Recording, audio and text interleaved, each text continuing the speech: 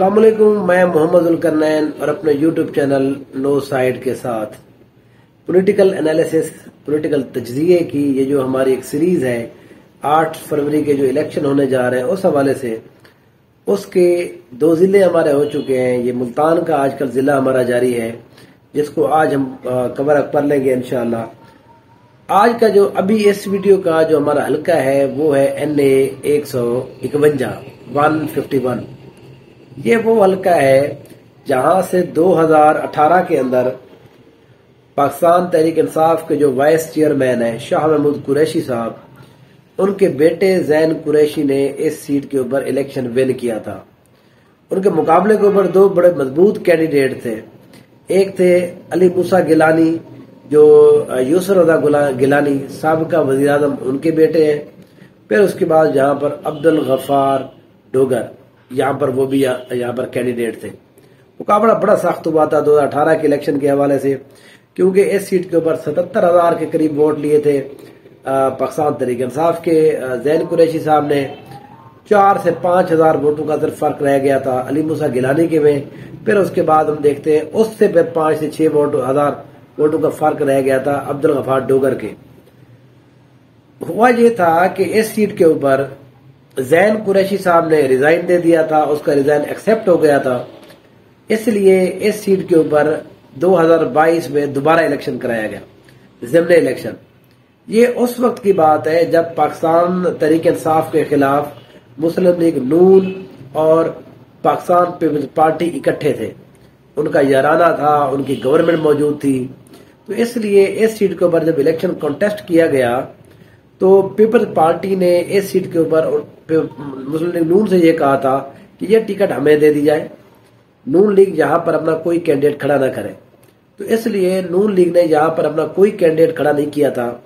पाकिस्तान तरीक इंसाफ की तरफ़ से मेहरबानो कुरैशी जो है, शाह महमूद कुरैशी साहब की जो बेटी है, उन्होंने इलेक्शन कॉन्टेस्ट किया था। मुकाबले में थे अली मूसा गिलानी।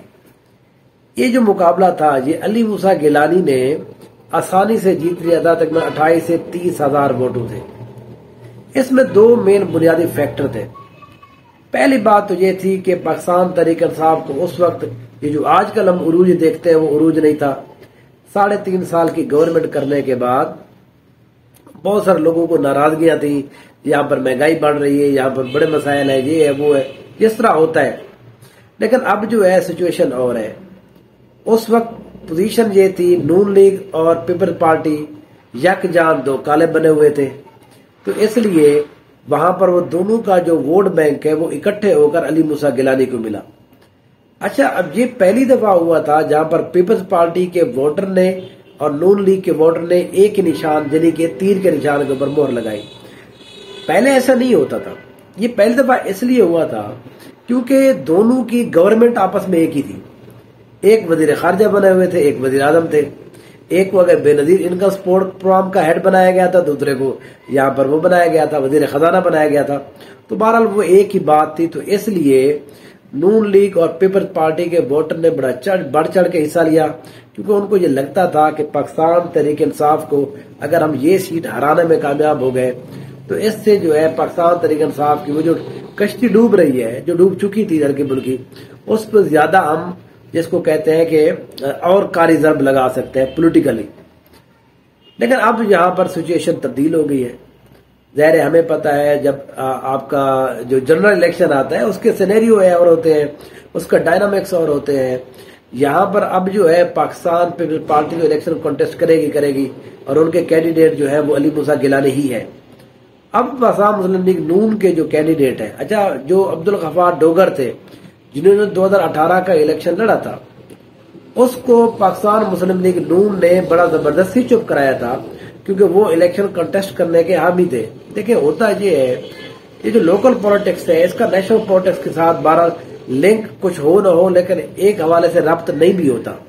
क्योंकि लोकल पॉलिटिक्स के डायनामिक्स और होते हैं। लोकल पॉलिटिक्स के अंदर अगर आपने एक दफ़ा इलेक्शन कंटेस्ट नहीं किया तो लोग आपके कंटेक्ट से दूर चले जाते हैं।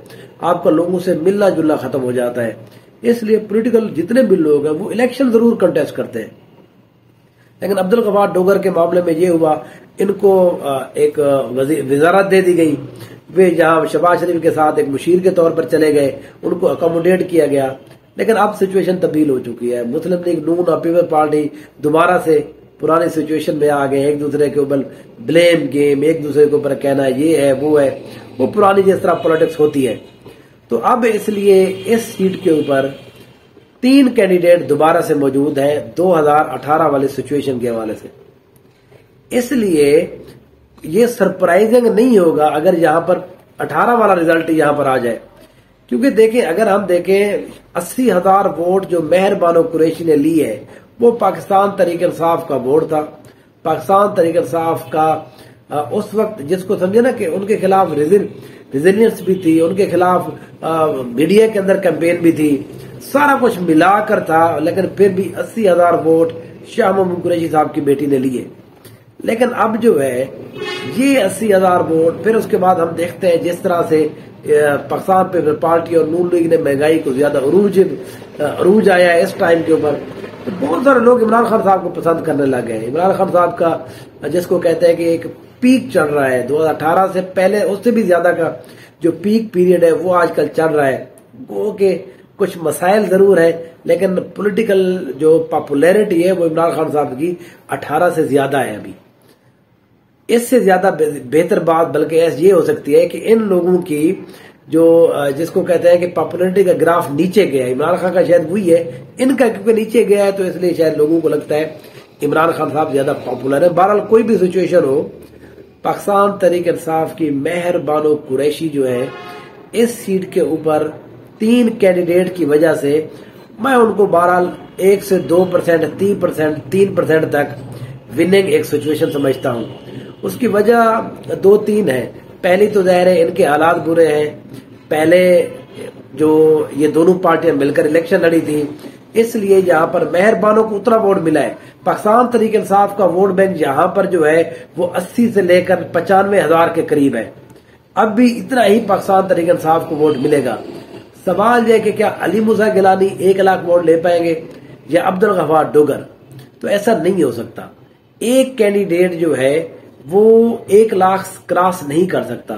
तो मेरा अपना ये ख्याल है, ये दोनों के दोनों अगर कंटेस्ट करेंगे तो मुस्लिम लीग नून यहाँ पर अब ये ज़ाहिर है, मैदान जो खाली नहीं छोड़ेगी क्योंकि बहुत कम मुल्तान के अंदर ऐसी सीटें हैं जहाँ पर नून लीग जो है, वो इलेक्शन कंटेस्ट जो है, बेहतर अंदाज में कर सकती है। उनमें से एक भी, ये भी सीट है।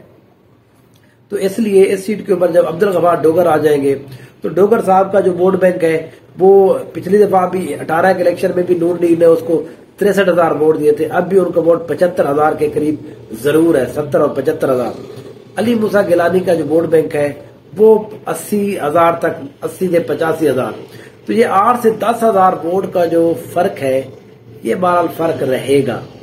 ये आखिर में क्या होता है टाइट किया जाता है, स्क्रू टाइट किए जाते हैं एस्टेब्लिशमेंट की तरफ़ से। यहाँ पर ब्यूरोक्रेसी जो है कंपेन नहीं करने दी जा रही। क्योंकि ये जो आठ से दस हज़ार वोट है, ये बारह शहर के हल्के के अंदर आप इनके ऊपर धांधली या कुछ धांधला करने में की पोजीशन में नहीं होते। अगर हज़ार, दो हज़ार होते तो फिर बंदा काम चला लेता है। तो इस सीट के ऊपर बहुत मुश्किल होगी एस्टेब्लिशमेंट को भी, सब लोगों को पाकिस्तान तरीक इंसाफ के कैंडिडेट को हराना। बहरहाल मैं आज तक की सिचुएशन तक जो है, वो मेहर बुखारी को सॉरी मेहर बानो कुरैशी जो है उनको जीतने की पोजीशन में देख रहा हूँ, लेकिन बहुत कम मार्जिन से। मैं आप इसको समझे कि बहुत टाइट जो काल हो सकती है किसी भी हल्के के अंदर, वो ये हल्का हो सकता है पूरे पाकिस्तान, पूरे पंजाब के अंदर, इस सीट के ऊपर। आगे जो भी इसकी नई सिचुएशन बनती है इनशाला आपके साथ शेयर किया जाएगा। मेरी वीडियोस को लाइक करें कमेंट करें, अपने ख्याल का इजहार करें शेयर करें बार बार शेयर करें, ताकि हमें, हमारी टीम को ये तकवीत मिले कि हम और अच्छी वीडियो पूरे पाकिस्तान के अंदर पोलिटिकल सिचुएशन जो काम है वो स्टार्ट हो चुका है। पॉलिटिकल कैंपेन स्टार्ट हो चुकी है। हमारे पास भी अभी इतना ज़्यादा टाइम नहीं है आप लोगों को। आ, हर हल्के के बारे में जो है वो कुछ ज़्यादा हम जिसको कहते हैं सुकून कर जाए। मुसलसल दिन में दो तीन वीडियो जो है हमारी टीम इसके ऊपर काम कर रही है। मैं जहाँ पर वीडियो बना रहा हूँ वो सारे डाटा इकट्ठा कर रहे हैं। फिर लोगों से बातचीत कर रहे हैं, लोगों से बात हो रही है। मैं खुद बहुत सारे लोगों से बातचीत करता हूँ, फिर हमें चार, पाँच, आठ घंटे बाद एक और वीडियो रिकॉर्ड करनी पड़ती है। तो ये बहरहाल, ये उस वक्त तक मुमकिन होगा जब तक आप लोग शेयर भी करते रहेंगे और हमारे वीडियो के ऊपर कमेंट भी करते रहेंगे। Thank you so much